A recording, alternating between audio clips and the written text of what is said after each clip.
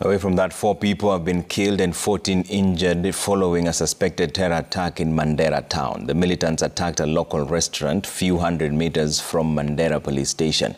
And as Ayub Abdikadir now reports, the attack comes even as the government deployed new security equipment including armored personnel carriers and gears meant to serve security operations in the region. These are the remains of what was the Fish Point Hotel in Mandera County. Shrapnels all over, pointing to the magnitude of the mid-morning improvised explosive device attack on Monday. The attack, which happened just 200 meters away from the Mandera police station, targeted the restaurant frequented by non-locals. According to the county police commander, four people were killed in the explosion, with more than 10 others sustaining injuries. So far, we have lost four people. As I've said, three officers, one civilian. A female lady was working in that fish.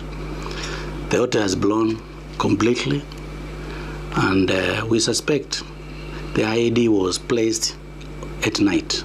The injured have been admitted at the Mandera County Referral Hospital, with two in critical condition and are waiting to be airlifted to Nairobi for specialized treatment. Local leaders have condemned the incident, which comes against the backdrop of a lull in Al Shabaab activities following scaled up security operations in the region. We call upon our security, security agencies to do thorough investigation to make sure we get the culprits, those who are behind this incident. Our people are peaceful, but few culprits, criminals are, within, are living within the society. And my deepest condolences to the families that have been affected by this uh, explosion. And also as a county government, uh, myself, along with His Excellency the Governor, uh, that we will provide the necessary support to the people who were injured by this explosion. Our town has been actually been peaceful. Our security team has been doing a good job. But uh, these cowardly actors just happened in this holy month of Ramadan where we are supposed to be in, in, in worshiping Allah in peace. We, we really felt it and inshallah we're going to do all our best to make sure that such incident will not happen in collaboration with our security officers who have already been mobilized and they are really pursuing um, uh, the culprits.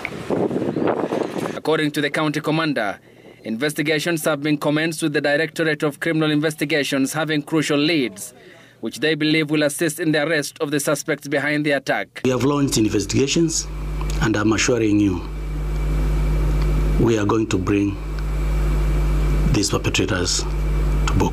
Interior National Administration Cabinet Secretary Professor Kithure Kindiki has been leading efforts to stave off insecurity in the region and has been visiting areas in northern Kenya, meeting security heads and local leaders in efforts meant to secure the northern counties that share a border with Somalia.